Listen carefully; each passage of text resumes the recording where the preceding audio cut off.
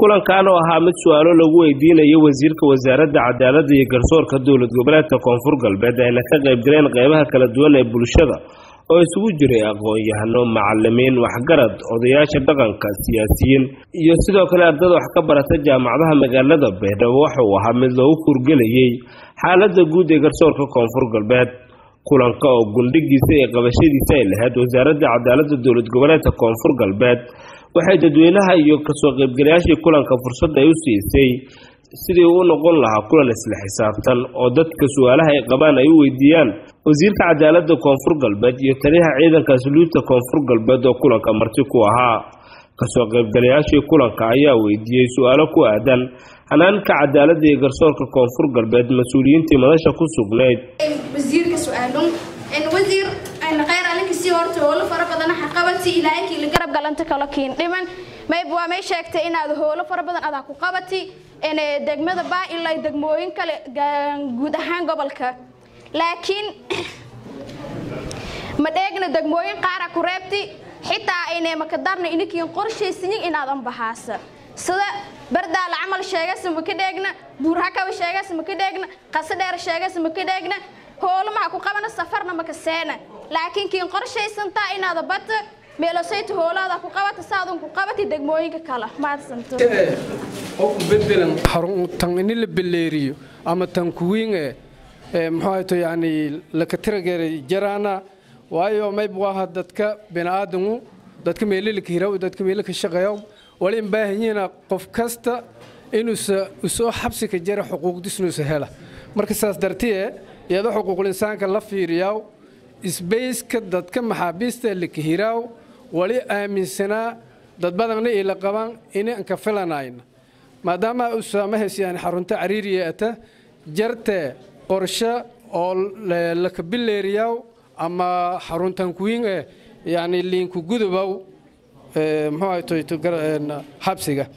okay wasiirka wasaaradda cadaaladda iyo garsoorka dowlad goboleedka koonfur galbeed maxamed xuseen xasan oo ka jawaabayay qaar ka mid ah su'aalihii ay weydiiyeen ka soo qaybgalayaasha wuxuu si qoto dheer uga sheekeeyey marxaladihii la soo maray labadii sano oo xafiiska wasaaradda cadaaladda uu joogay waxyaabaha aan u qabsoomin iyo waxa uu filayo inay qabsoomaan muddada dhow. Waxauu sidoo kale uu kulanka uu ku sheegay mid muhiim ah oo loo baahan yahay in laysku gorfeeyo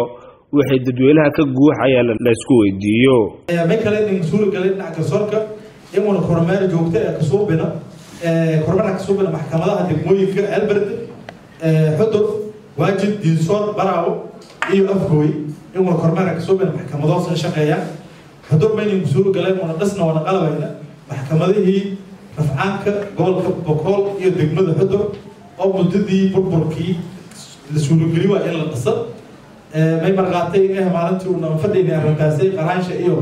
iyo hanuuninta fadhayni saaxiibkay abukar oo ururada bulshada gudanaya markaati ku hay todobaadgoodka bacdana ma ilaahadii suura geliyey in dowladdii oo contributionka darsati maahane xudur oo hirinayti suurageliyaan in siyeed qol iyo gashanaaya oo awdalka qaada iyo dhisadaan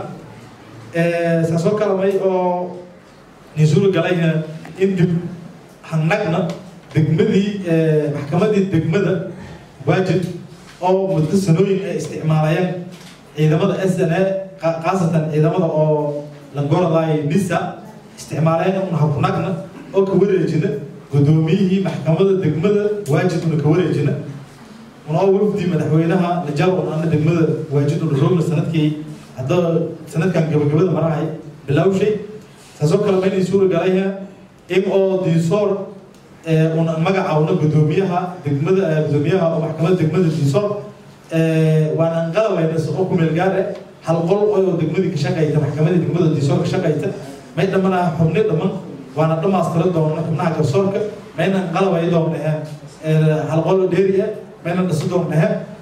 hulkii oo maxkamadda ka shaqeeya faday dacwadalka qaado fari afgooy mayna suura imuna ka guulaysana garsoorka ka shaqeeyay degmada ka shaqeeya gobolka banaadir imuna dibaroon afgoyshaana kulankan ayaa noqonaya noociisa kii ugu horeeyey oo loo qabtay magaalada baydhabo oo dadweynaha su'aalo ay ku weydiiyaan xubno ka tirsan golaha wasiirada koonfur galbeed maxamed cabdicasiis salaad wararka tv-ga caalamiga s b c baydhabo aniguse waxaan isticmaalaa samtel isagu ma uu isticmaalo samtel anigu in badan baan samtel ku hadli karaa balse isagu sidaa ma samayn karayo war maahayn run miya waa runtay afarlabaaatankii saacadood waxaan ku hadlaa laba kun iyo shan boqol oo shilin oo waa bilaashe bishii oo dhanna waxaan ku hadlaa shan dollar oo keli ah caadi maaha maxaad mar hore iigu sheegi weyday fikir fikir fikir